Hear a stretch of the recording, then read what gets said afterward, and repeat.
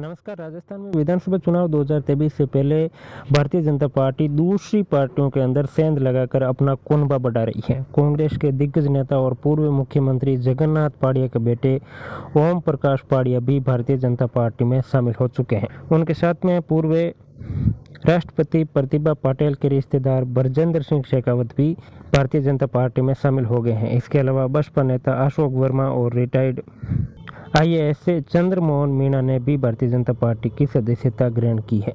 इससे पहले 19 मई को पूर्व केंद्रीय मंत्री सुभाष मौर्य भी कांग्रेस छोड़कर भारतीय जनता पार्टी में शामिल हो चुके हैं।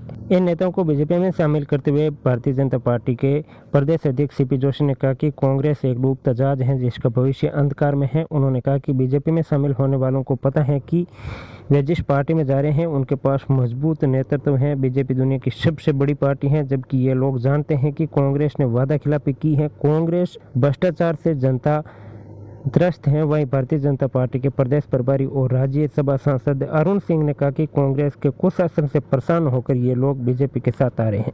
बीजेपी का परिवार लगातार बढ़ रहा है। कांग्रेस सरकार से ये लोगों का विश्वास उठ गया है। अब सीएम सिर्फ़ खोखली घोषणाएँ कर रहे हैं।